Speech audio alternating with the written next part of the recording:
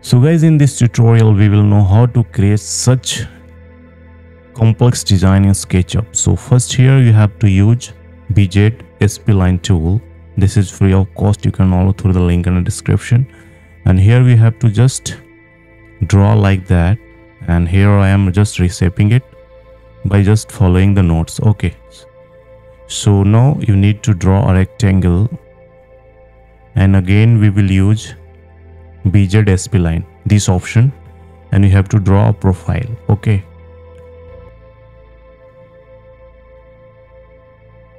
So just search this draw profile like that okay? Now you have to select entire model right click and then select intersection with selection okay?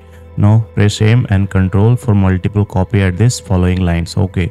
Then we will use a, a scale tool to scale up at the top of the point okay?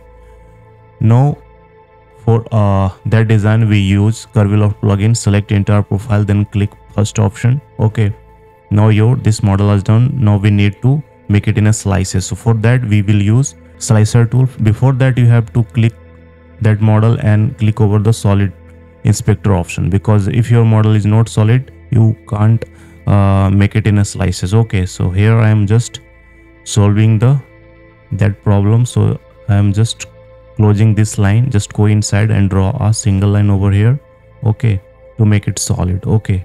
Now this model perfectly closed from every side. Again check by pressing over solid inspector. Now here we will use slicer tool okay. So you can download this plugin also. There is a link in description and this plugin are free. So select the solid model okay and then click first option select axis and then a spacing thickness and other options so here i'm selecting a spacing thickness and other options no okay then click on a ok button so within a minute that model will be created just like that so guys, if you really like my tutorial, please follow me and share to others and see you next tutorial guys. Thank you.